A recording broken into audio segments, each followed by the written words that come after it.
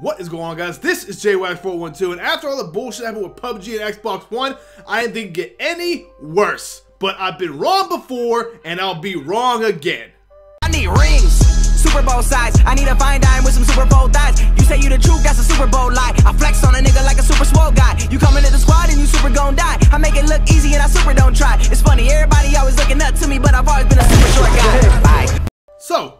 talk about? If you guys have not heard by now, a game called DayZ is coming to the Xbox One. That sounds fantastic, right? Because Xbox needs more games. What's the problem with Xbox getting more games? Well, here's the fucking problem, right? So, this game, DayZ, is right now it's only on Steam. It's not on PS4 or anything else. It's only on Steam. And what it is, if you do not know, is a post-apocalyptic uh, zombie open world, you know, free shooter uh, survival game. Similar like H1Z1, right? It's a very uh, big world. It's a very good premise for the game. It's been done before. But this game is coming. It's still in preview, mind you. It's still in preview, which is the whole point of this video. It's still in preview for the PC, okay? And it's coming to Xbox in the game preview sometime in 2018. But here's the biggest problem, and here's why this game, this shit is even worse than PUBG. PUBG released 2017. I'll give it that.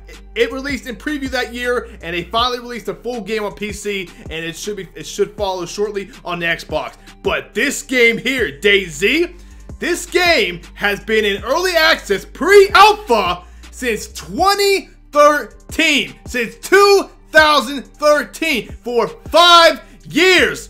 What in the fuck? Let me repeat that. Five years. One, two, three, four, five, five years. This game has been in pre-alpha for five years. This game is $35 on Steam and is getting nothing but negative reviews of everything I've seen. People say it's buggy, uh, it's optimized poorly.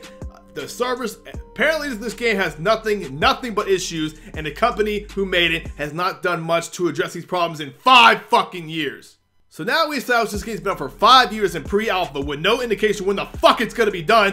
What do you think the, mo the most logical step is? What's the next step for this company? Hmm, you would think it'd be finishing the game, right? Especially the game that everybody paid $35 for, for five fucking years. You would think they'd say, hey, let's finish this game, let's optimize it, let's get this game done, over with, especially for people who backed this through the whole development. Nope, the next logical step, let's get this unoptimized piece of shit game that we've been working on for five fucking years and not haven't done shit to apparently. Let's try to get this this game on another platform. Mind you, the Xbox One. This company said themselves, which the company's name is Bohemia in, uh, Interactive, which is a fuck name to begin with, but they said themselves, hey, what platform could we throw this on? Hmm, to make a little more money on an optimized piece of shit game that's not even fucking done yet. Huh, how about the Xbox? Because they clearly don't give a fuck about quality control. They just released PUBG, and that game runs like dog shit. So this was a perfect fucking platform for them to put it on. It's a perfect thing to put in their goddamn sites and say, we're gonna put it on that platform. Microsoft will have a problem with it because they're fucking desperate.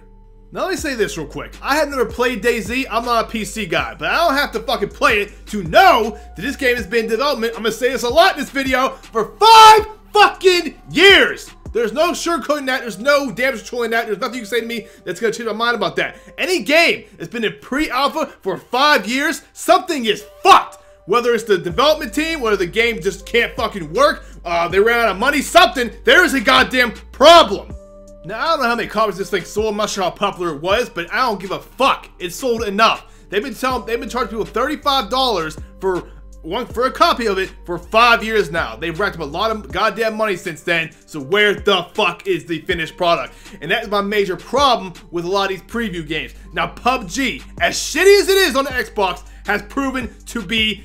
They've been conscientious, right? They just finished their uh, their a PC version. The Xbox version is, I will give them this, getting regular updates. It should have been done from the fucking beginning, but they are updating this thing, and apparently it's getting better and better and better. Apparently, I played it, I don't really see it too much, but eventually, I'm hoping they will get there, especially if they're gonna keep bundling this game with the Xbox One X, and now today with the bundle with the Xbox One S. Now, I know I'm going to hear this argument here, right? People are going to say, if you don't like it, don't buy it. If you don't like it, don't buy it. No one's forcing you to buy it. It's just an option. That's why it's called game preview, because it gives you the option to support the development team through the development process. Well, let me tell you this. This company's track record so far has shown they've been charging $35 for five years and the game is not a fucking finished product yet. They are dragging these people along and taking their money willingly. And if you can't see the fucking bigger picture here and see that this game preview is a goddamn problem, then I don't know what to tell you. It's not the fact that I know I'm not gonna buy that's bullshit. It's the fact that they're ripping people off and they're taking people's money and giving them nothing fucking back for it. So, are you guys excited? Are you guys excited for another preview game? Let me tell you this. I bought the Xbox One X November on launch day. And so far, the biggest title I've seen for this thing so far, first, not first party was, biggest title so far is PUBG, which looks like shit and came to hit a steady 30 FPS. Now we're getting DayZ, who knows when, 2018, and this game is apparently way, way worse, and I can't even imagine that. So I am so happy so far with my purchase. I'm so happy I bought an Xbox One X. I'm so happy that in, in March, I get to play Sea of Thieves in fucking 4K. It looks like a goddamn Clay movie. It looks like Nightmare Before Christmas or some shit like that. The art style is weird, but I'm, at least I to play it in fucking 4K. I'm so happy so far I bought the Xbox One X. Fantastic. But hey, at least I get to look at fucking water and see if these is 4K. That fucking water looks fantastic.